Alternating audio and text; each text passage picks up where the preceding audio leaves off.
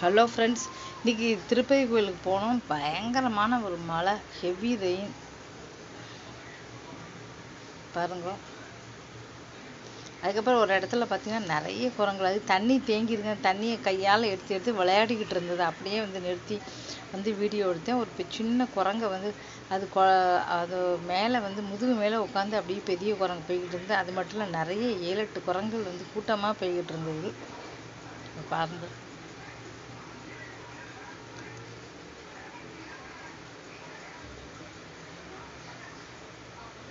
இந்த வீடியோ பிடிச்சா மறக்காமல் சேனலை சப்ஸ்கிரைப் பண்ணுங்கள் நிறைய குரங்குகள் இருக்குது பாருங்கள் தேங்க்யூ